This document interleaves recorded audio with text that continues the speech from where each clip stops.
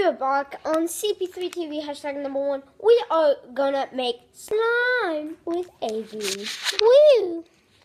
Well, we already did it, so we didn't do the intro. Well, I accidentally deleted the intro. So, this is the intro. Yeah!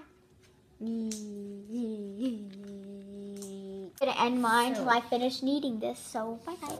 That's, that's, that is the very, very healthy looking slime. Healthy looking.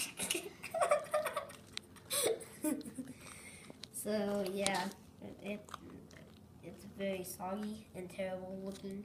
Yes, but it'll get better. Trust me. Yeah. Trust me. Would you be so kind to get me a plate too, please? Okay. Okay. Okay.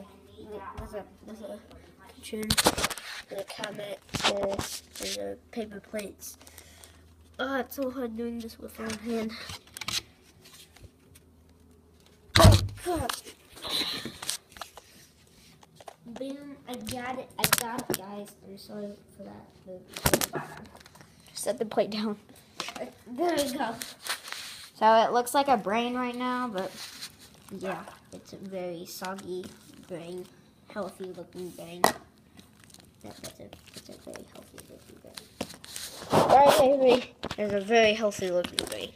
Very healthy. Very. and right now I'm going to add some more glue in, just to make it a little bit more, I guess. Nutritious. What? No. To make it um less.